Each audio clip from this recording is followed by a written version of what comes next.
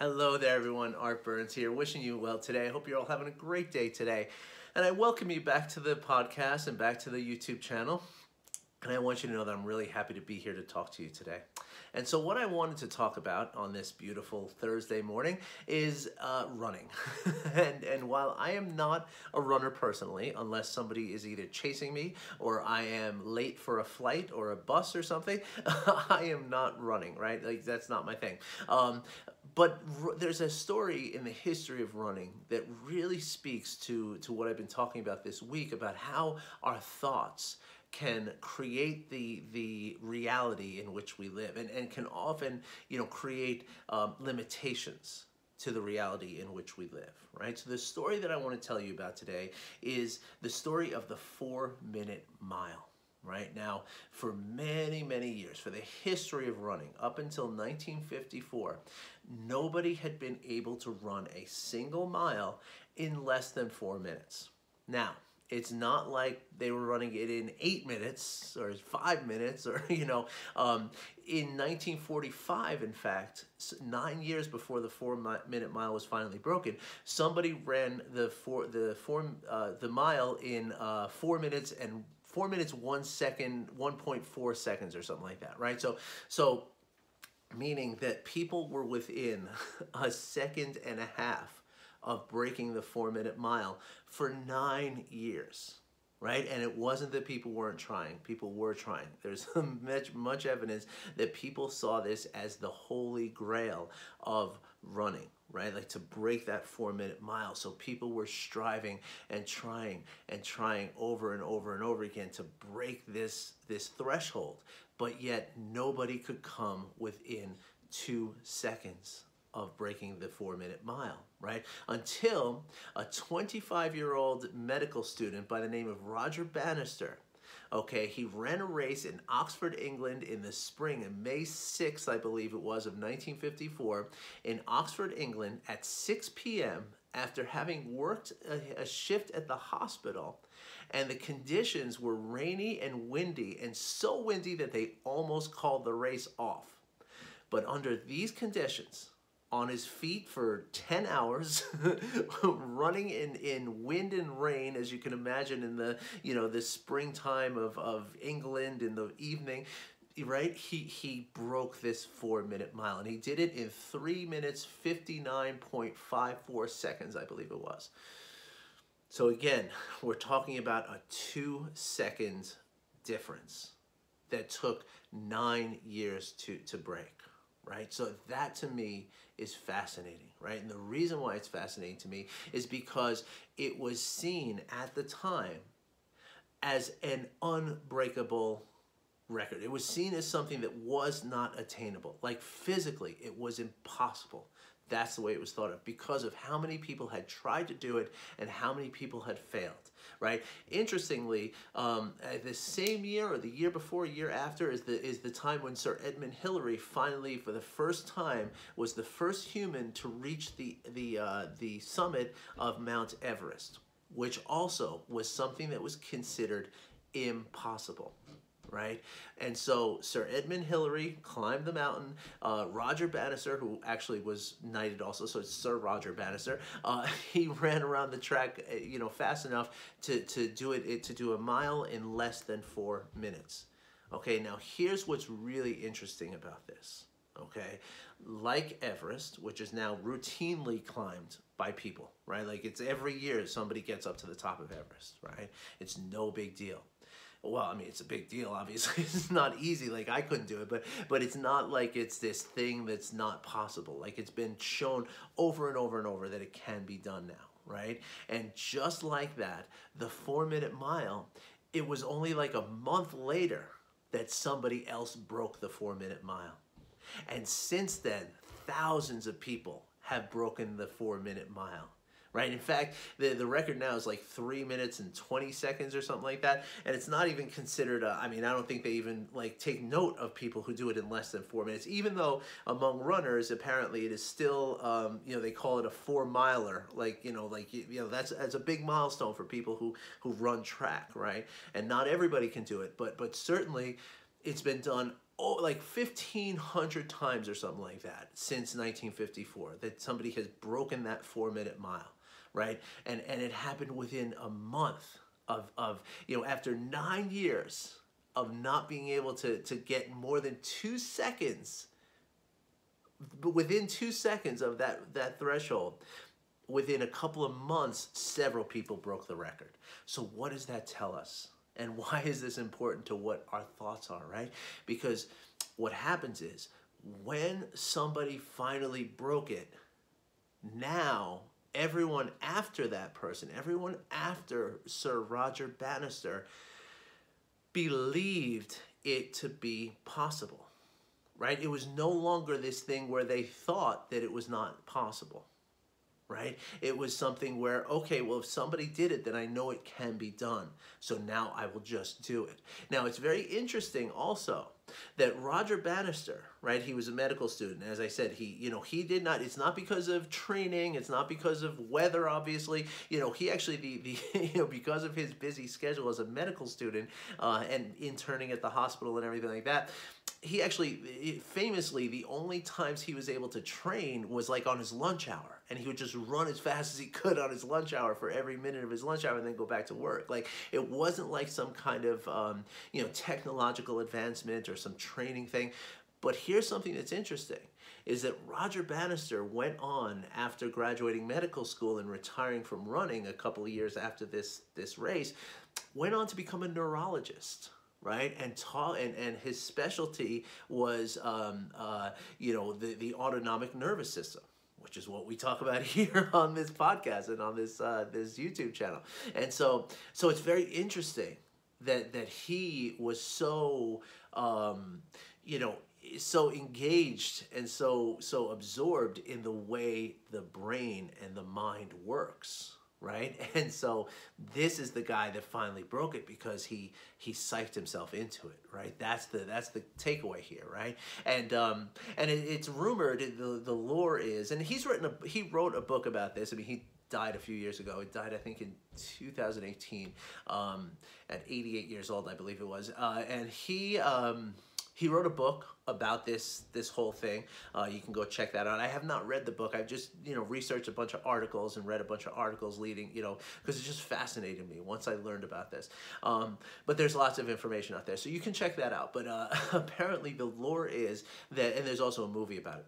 Uh, there's a the lore is that he came up with a new sort of training method right? And again, it's not that he was training in some special way because again, he was only able to train during his lunch hour. So my feeling is that it was this kind of training. Right? It was psychological training that he he created for himself the thought that this can be done right? And so then he went out and against so many odds, he did it, right? And again, once he did it, several other people within a month somebody else broke it, right? So nine years, nobody can come within two seconds. Then all of a sudden, two people in one month, right? And then somebody after him. And then so like every year after them, like other people were doing this, right? And again, that is because they thought that it was possible, right? And so what happens in our lives, right? When we think that we're not able to do something, right? When we think that there's no way we could become this thing that we want to be, there's no way we could, you know, um, you know, break these bad habits that we have. There's no way that we could grow out of some limiting belief that we have, right? All we have to do is believe that we can, right? And that's a thought right? It's not a, you don't necessarily need proof, right? Roger Bannister did not have proof right? Because nobody had done it before him. Sir Edmund Hillary, the same way. In fact, if anything, they had lots of proof against what they were trying to do, right? There was so much evidence that this is impossible. But the thought that they had was that no, it's not impossible. It's just that no one has done it yet, right? I often tell my clients that, that the word yet is such a tiny little word, but yet it's the most but yet it's the most powerful word in the the language of humans. In whatever whatever language you translate that word into, it's the most powerful word because what it tells you is that it takes something from I can't do something to I haven't done it yet. Right? So that's what Roger Bannister and Edmund Hillary, this is what they both said to themselves, right? That that I, you know, that, that it's not that it can't be done, it's that no one has done it yet, and I am going to do it right and so so when we take that kind of belief into what we're doing in our lives right? Whether it's you know you want to make a certain amount of money you want to uh, get a certain status of some sort you want to reach some kind of goal right? Whether it's work whether it's relationship you know you, you feel like you know i remember back when i was single there were there were times where i felt like okay i'm never gonna find someone that that's you know that's that thing that i believe in right? Like we get that way of thinking right? And now i have a beautiful family with a, a loving wife and two beautiful children that you know that you know it's like you go from this this sense that you just can't do something and just saying instead i just haven't found it yet right? And that's the difference between people who succeed and people who do not succeed right? When when people who you know th- there's basically three ways to get what you want in your life right? There's the sort of um, you know just go out and get it the acquisition kind of thing, right? Just just going and doing it, right? Like like you know, like I don't care what it takes. I'm going to work all night. I'm going to you know do whatever I got to do to just make it happen, right? But then there's also this sort of um, you know psychological like uh, you know law of attraction kind of thing, right? Where if I just elevate my my you know energy to a certain level, I will attract good things, right? But then there's the the the creation right? Then there's the way to create what you want, right? And that's the kind of thing that Sir Edmund Hillary and Sir Roger Bannister did, right? It wasn't that, I mean, plenty of people before them had tried to just go get it, right? But the problem is that, that when you feel like you just can't get it, then you feel like, okay, it's impossible because I, I, I, tried everything I have and it just didn't work. So it's clearly impossible. So now I have to abandon that goal and go for something else, right? You know, people who believe in things like the law of attraction and believe that, you know, just by, and I'm not saying they're wrong, but, but when you sort of put your, your, um, you know, kind of um, trust or, or, or efforts into that kind of, um, you know, kind of method, right? To just attract what you want by your positive energy, right? Then when it doesn't happen, a lot of times we feel like, okay, well, the universe is just, you know, not going to allow it. So again, it's something that's impossible. So I'm going to abandon that goal and I'm going to go for something else, right? But when we talk about creation, and this is why the most successful people in the world, this is the way they look at things, right? And again, it comes back to that word yet, right? When you don't get what you think you you know when you don't reach that goal that you're striving for right that you're that you're you're you're dedicated to right you don't feel that it's impossible. You don't feel that it's just you know you can't do it. You don't feel that the universe is conspiring against you right? You just feel like it just hasn't happened yet and i just have to keep going. I have to keep walking this path. I have to keep, you know, you know, kind of um, keep on the course and keep at it. Just like Roger Bannister and Edmund Hillary did in the mid 1950s. And then, you know, and look, again, once they did it, thousands of people believed it could happen and then they went out and did it too. Right? So, the the takeaway here for you all folks is to you know again just you know it's not necessarily about uh, tricking your mind into it right? But it's about believing that you can do it right? And it's about thinking the thoughts that are going to put you closer to that thing right? It's about it's about thinking about the you know eh, because remember what we said the other day right is that as we think about things right then we're going to our, our brains are naturally going to filter out the evidence against what we think and present to us only the evidence that we that, that confirms what we think right? It's a bias of the mind. It's a physical functioning of this little guy here, right? It's like it's like an internal algorithm, right? Just like on Facebook, right? Facebook is only going to show you the things that you are looking at, right? That's the way the algor- algorithm works, right? Well, your mind has a similar way of working, and your physical brain has a similar way of working, right? It's going to filter out those things that, that contradict what you believe in and it's or, or what you think about and it's going to just show you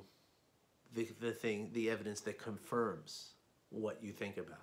So if Roger Bannister were alive today and we were having a conversation, I'm sure he would say something along these lines. And I'm sure in his book he says something like this. And I'm sure that, that it's true that for Edmund Hillary as well, that they just thought they could do it despite all the evidence, right? They thought they could do it. And therefore, they're, you know, in their day-to-day experience, as they were training, as they were preparing, they saw evidence that, you know what, I can do this, I will do this, I can do this, I will do this. And, and eventually, it happened. Right now, who knows if Roger Bannister thought he? I mean, it might be in his book. Who you know? Maybe he thought that he would have done it a year earlier. But again, he didn't abandon it because he didn't feel, you know, again, he used that word yet, right? like he, he just, he knew that it was just a matter of time because he felt, he believed, he thought that he could do it. So I want you all to try this. I want you all to start thinking in terms of, you know, I can be that person that I want to be. I can be that parent that I want to be. I can be that professional level of whatever it is that you do for a living. I can do these things right? And don't give up on them, right? Even and when you start to see evidence against what you're what you're thinking, now this is where the thoughts can can be, you know, kind of a, a block for us, right? And so when you feel evidence, when you when you notice and you start feeling like, okay, well things are showing me that I can't really do this, what I want you to do is use your thoughts then and think the opposite just for a minute, right? Just just just challenge yourself. Just just challenge the fact that maybe your thoughts are not real, are not true, right? And think the opposite. Just say, well, what if the opposite is true? Right? What if all this information, all this evidence that I'm seeing is actually not true? What if what if the opposite is actually true? and you might be amazed to find how that changes things for you how that that helps you to embrace that yet right? All right, folks. Well, I hope you enjoyed this, and uh, I hope uh, I hope this helps you to to kind of go through your life and, and and think you know think that you can do it and then do it right. Just like these these inspiring individuals from half a century ago, right? And if you have any questions or if you'd like to talk further about this, okay, if you'd like to maybe get some training on how to you know bring because because part of part of what we're talking about here is bring awareness to the thoughts right? And the nervous system, right? And how it all works, right? When we can bring awareness to it, we can see like, oh, look at that thought right there. You know, it's telling me I can't do this thing. So let me put a yet in there and let me let me, you know, challenge the thought and see if putting a yet in there changes the way that I feel about it, changes my emotional attraction to it, and therefore makes it more possible for me check it out, folks. I really would love to hear from you if, if you have any thoughts about this. And again, if you'd like some training on this, please just hit me up and I'd love to have a conversation and see if we could work something out. See if there's a, a way which in which we could uh, you know get together and uh, and work on this together. It's it's amazing when you have someone to collaborate with and somebody to to kind of keep you on track with this, right? To to kind of you know make sure that you're keeping challenging these thoughts right? That's sometimes the biggest problem because, you know, we have these thoughts for a reason, right? They're the thoughts we've been thinking our whole lives. So sometimes it's just a matter of having somebody to reflect back on you like, hey, yeah, remember, this is what you're thinking. So let's challenge these thoughts.